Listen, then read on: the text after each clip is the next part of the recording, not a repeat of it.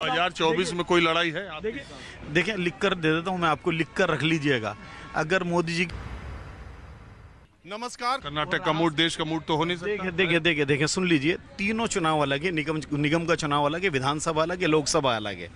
अगर विधानसभा कर्नाटक भारतीय जनता पार्टी आ रही है तो उत्तर प्रदेश में भारतीय जनता पार्टी जीती भी है।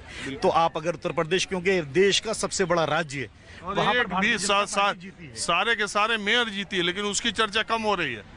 कर्नाटक के चुनाव की चर्चा ज़्यादा हो रही है जी वो उसकी इसलिए हो रही है ना जी अगर आपने व्हाइट कपड़ा पहन रखा और उस पर अगर एक स्पोर्ट आ जाए ब्लैक स्पोर्ट आ जाए तो लोग उस ब्लैक स्पोर्ट की ही बात करेंगे। तो कांग्रेस के लिए बहुत बड़ा काम होगा कि वो कर्नाटक क्योंकि जिस तरह से कांग्रेस की हाल की हालत चल रही थी और देखा जाए तो सियासत उसकी बिल्कुल पूरी तरह से खत्म हो रही थी। तो उसके लिए कर्नाटक ने भले से बूस्ट का काम किया हो तो इसलिए चर्चा उसकी नज़र आ रही है।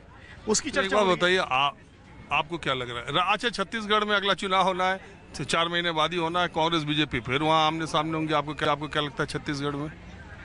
देखिए क्योंकि वहाँ छत्तीसगढ़ की जनता तय कर चुकी है और वहाँ छत्तीसगढ़ में पूरी तरह से बदलाव नज़र आ रहा है। इस बार भारतीय जनता पार्टी की बिल्कुल पूरी तरह से पूर्ण बहुमत से सरकार छत्तीसगढ़ में बनने वाली है। हमें केंद्र की सरकार पे भरोसा है मोदी जी पे भरोसा है केंद्र की सरकार मोदी जी ने जो बात करी है ना मोदी जी ने सबका साथ सबका विकास सबका विश्वास और सबका प्रयास वाली बात करी है।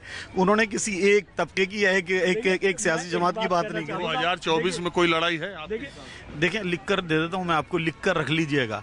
अगर मोदी जी की 330 से कम सीटें आई ना तो आप मेरे पास आ जाइएगा। 330 प्लस आएँगी तीन सौ मैं अब वो भाजपा से दूर रह के भाजपा की बातों को नहीं समझा जा सकता। अब भाजपा के झंडा उठाएँगे तभी सबके समझ में आएगा।